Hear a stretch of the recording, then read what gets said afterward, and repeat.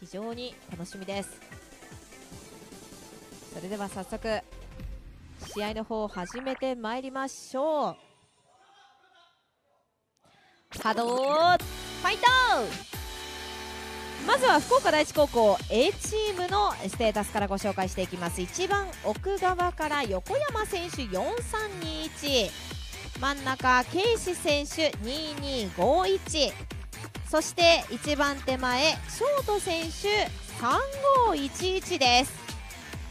対するオケケオ1番奥側ケイラビット選手4411真ん中ハムカワ選手1135一番手前ウィー選手3241となっております。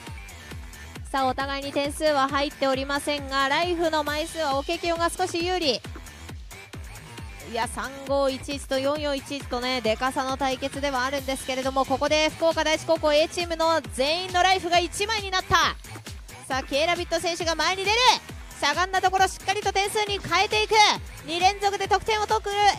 AOKK をさあ3点リード。前に出ていくショート選手。さあここ横山選手合わせていきたい。さあウィー選手またも点数取ってすかさず前に出た瞬間点数を取る横山選手。残り時間は5秒前。